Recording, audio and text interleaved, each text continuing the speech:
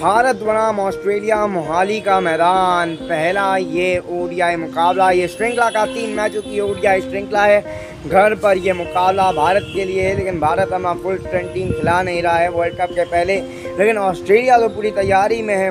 वो तो world cup की ही जो टीम है, उसके साथ ही उन्होंने उतरने का फैसला किया है, ये श्रृंखला में आने का फैसला किया है। उनको ये जीतना उनके मंसूबे में दिखाई नज़र आता है। जहाँ पर उनकी जो अप्रोच है, जो रणनीति है, वो यही बताता है।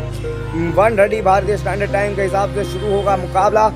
रनों से बड़ा ये पिच होगा, ऐसी उम्मीद है। यहाँ पर फाइन यहाँ regular T twenty I cricket होता नज़र आता है। तो वही हिसाब से बताता हूँ यहाँ पर पेसर को फोर्टी थ्री विकेट्स और विकेट्स है तो स्पिनर ने बाईस विकेट चटकाया है। वो लेस इकोनॉमिकल रह पाते हैं और यहाँ पर set warm and clear sky नज़र आएगा। यहाँ पर बारिश का कम चांस कम रह, रहता नज़र आना चाहिए। ऑस्ट्रेलिया ऑन पेपर अच्छा टीम नज़र आती है दोनों ही एकदम। जहाँ पर आपको बताएँ तो प्रॉबेबल इलेवन भारत की तरफ़ से कुछ ये नज़र आता है कि मुझे तो नज़र आते हैं कि ऋतुराज गायकवाड़ आपको ओपन करते नज़र आएँगे क्योंकि ईशान किशन को भारत अगर नंबर पाँच पर ओपन पाँच पर खिलाना चाहता है तो उनको ओपन नहीं करवाएगा, हरगिज नहीं करवाएगा।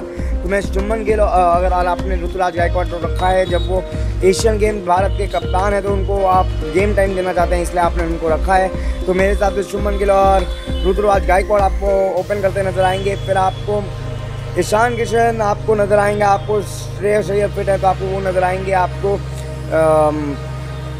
आप तिलक वर्मा को आप, मुझे लगता है आप कम चांस दे पाएँगे। आप तिलक वर्मा को आप चांस क्या दे पाएँगे? देख डाउट है मुझको। आप, क्योंकि श्रेयस अय्यर फिट हैं तो वो आपको खेलते नज़र आएँगे या तिलक वर्मा को आप खिलाएँगे।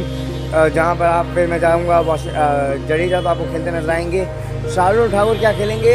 या वॉशिंगटन सुंदर को आप खिलाएँगे? ये एक तो बात है। क्योंकि मेरे हिसाब से शाहरुख ठाकुर की तो जगह टीम में पक्की है। आपको उनको तो आपको देखना है नहीं, आप उनको खिला सकते हैं। आप, वाशिंगटन सुंदर को, अश्विन को आप खिलाएँगे।